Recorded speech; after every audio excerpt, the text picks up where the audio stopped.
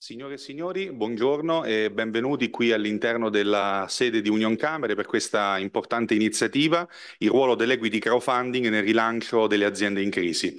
Io sono Gabriele Ferieri, presidente dell'Associazione Nazionale Giovani Innovatori e avrò il piacere e il compito di moderare questa importante iniziativa nella quale avremo l'opportunità di ascoltare alcune delle più autorevoli voci dell'ecosistema innovazione economico e imprenditoriale del nostro Paese con l'obiettivo di analizzare e valorizzare quelli che sono gli strumenti e le opportunità legate alle aziende in crisi su quelli che rappresentano gli strumenti dell'equity crowdfunding. In questo momento ci tengo a ringraziare ovviamente di questo invito l'ingegnere, presidente e amministratore delegato di IG Group, il dottor Giuseppe Incarnato e ovviamente un ringraziamento particolare a tutte le realtà eh, che hanno permesso questa iniziativa, ai partner promotori, ovviamente a tutti coloro che ci seguono sia in presenza qui a, da Piazza Sallustio 21 che tutti coloro che ci stanno seguendo nella diretta streaming.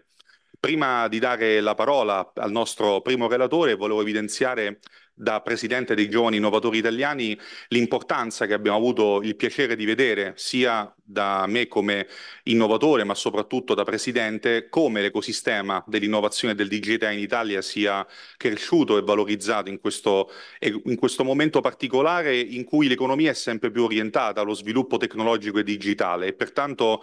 gli strumenti per valorizzare al meglio la raccolta fondi, gli investimenti sia del mondo delle imprese, delle start-up e delle PMI innovative è sempre più intrinseco che guarda ovviamente ad una sinergia pubblico-privata che riteniamo fondamentale per il progresso economico e sociale dell'Italia e dell'Europa. Pertanto oggi questa iniziativa, che ovviamente noi come Angli supportiamo in tutto e per tutto e oggi appunto la mia presenza qui lo testimonia,